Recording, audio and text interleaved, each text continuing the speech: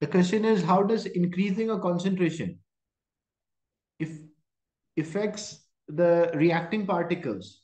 Increasing a concentration will increase the collision rate. That is true. Like example, if I have a small concentration, few collisions. If I have high concentration, more collision.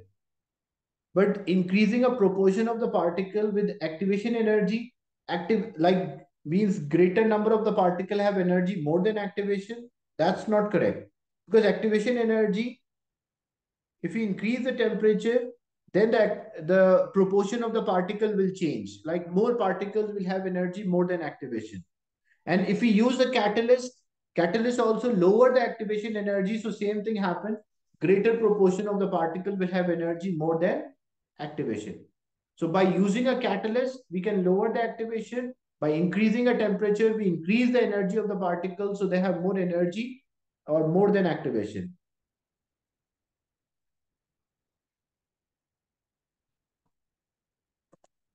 So that's the term concentration. Concentrated means means more reactant particles are there. So they will have more collision. So with reference to that, number of the collision will change but the proportion of the particle with activation energy will remain same. This proportion can vary only if we are changing a temperature or we are using a catalyst.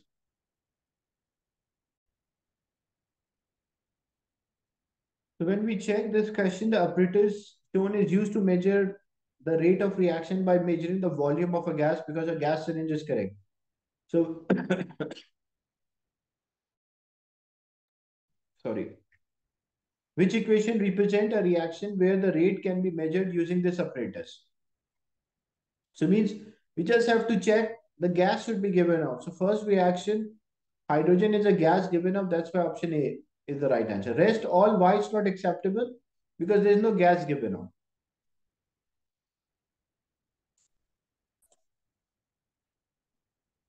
In this question, student add excess of magnesium ribbon